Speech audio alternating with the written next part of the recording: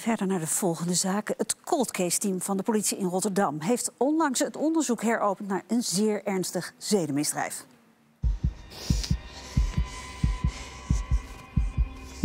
Ik ben lukraak gaan lopen. Ik heb onderweg de mannen niet meer gezien. Bij de metro heb ik op de SOS-knop gedrukt. Even later kwam de politie. In de winter van 2004 vlucht een 30-jarige vrouw het metrostation Voorschoterlaan in de Rotterdamse wijk Kralingen binnen. Kort daarvoor is zij het slachtoffer geworden van een zeer ernstig misdrijf. Eerder die maandagavond 12 januari 2004. Een 30-jarige Rotterdamse is op pad met een vriend. Ja, dat is lekker lunch, hè? Ja, wat Ja, dat is echt lekker, hè? Maar uh, heb je nog wat gedaan dit weekend? Ik heb helemaal niet foto's gezien of zo. Wacht heel even, ik moet even de jongens spreken. Volgens mij krijg ik nog wat van jou, hè? Nee, man, je moet niet bij mij In de buurt van de Lusthofstraat spreekt hij een groep jongens aan. Er ontstaat ruzie. Iemand is hem nog geld schuldig. Ja. Dit van niks. Bij wie moet ik zijn dan? Nee, man, niet, niet voor mij, man. Maar de mannen lijken niet bereid om hem terug te betalen. Ze wijzen constant naar elkaar. Van. Ga toch weg, man. De vrouw ziet dat haar vriend het boos wil laten gaan. Normaal, Rustig, man. kom, komt goed, ik ga ja. Maar ze kan niet tegen onrecht en komt zelf in actie. Doe niet zo flauw, geef dat geld gewoon. Oké, is goed. Kom dan. Ga het geld wel halen. Kom ja, dan. beter. Ja, kom dan. Ja, toch?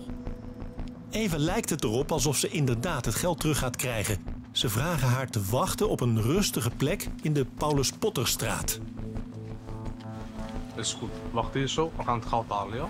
Is goed. Boys, kom, we gaan. Even later komen ze terug. Zonder geld. Het gaat hen om haar.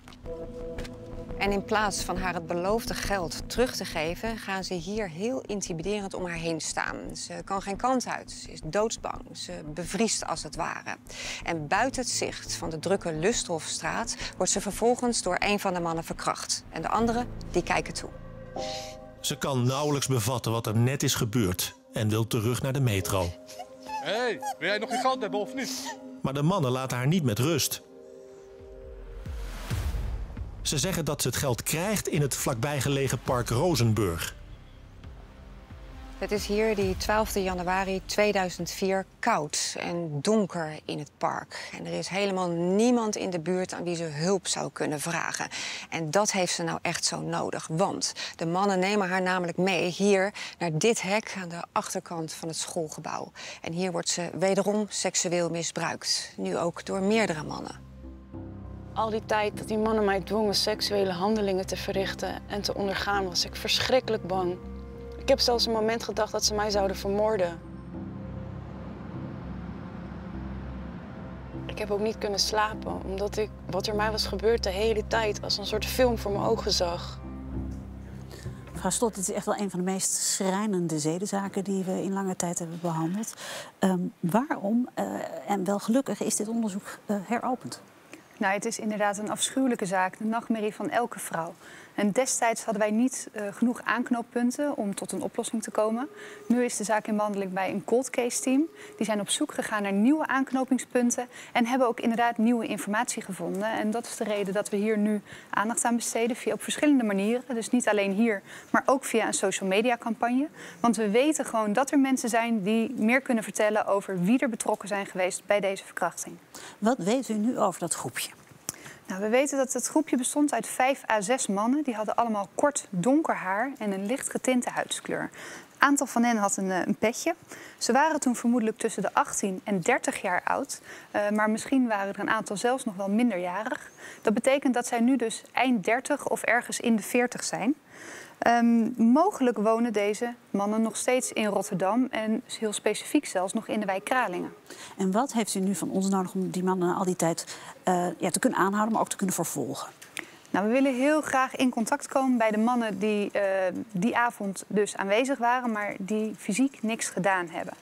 Dit moet hen ook nog bijstaan. Uh, zij moeten gezien hebben wat er gebeurd is en wie wat gedaan heeft. Uh, misschien vonden zij het die avond ook al verschrikkelijk wat er gebeurde, maar durfden ze niks te doen. Mogelijk is inmiddels de vriendschap bekoeld en um, ja, voelt het nu beter en gemakkelijker om toch alsnog hun hart te luchten. Eh, specifiek willen we van hen weten wie de vrouw aangerand heeft en wie haar verkracht heeft. En verder hopen we dat er nog mensen zijn die eh, iets hebben gezien of via, via iets hebben gehoord. ehm, ja, wat er toen gebeurd is in 2004. En ook hen willen we natuurlijk heel graag spreken. Ik kan me trouwens wel voorstellen dat als je zo omgaat met een onschuldige vrouw... je wel vaker voor ellende hebt gezorgd. Ja, wij vermoeden ook wel dat ze vaker samenkwamen en ook overlast veroorzaakten. Dus we hopen dat iemand zich dit groepje mannen herinnert. Als dat zo is, deel dat alstublieft met ons. Want deze informatie kan ook nu na 20 jaar ons misschien helpen om ons op het spoor te brengen van deze mannen. Ja, die 12 januari 2004 heeft het leven van het slachtoffer voor altijd veranderd. Laat die mannen daar niet zomaar mee wegkomen. was dus een groepje van vijf of zes toen echt jonge mannen. Nu zullen ze dus eind 30 of in de 40 zijn. Ook al heeft u alleen maar een vermoeden. Praat eindelijk en bel gratis 0860 70 of deel ons social media bericht. Tippen kan uiteraard ook anoniem bij M of praat vertrouwd met de politie via het Team Nationale Inlichtingen.